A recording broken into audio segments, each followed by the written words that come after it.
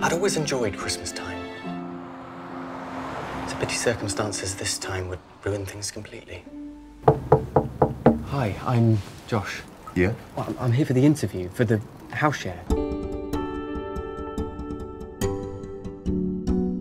Have you house shared before?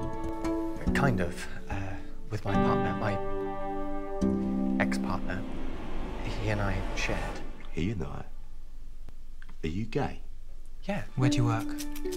JP Motor Sales. Oh. We'd love for you to be our housemate. And that's where the whole thing started. People talk about life being about a journey and to embrace change.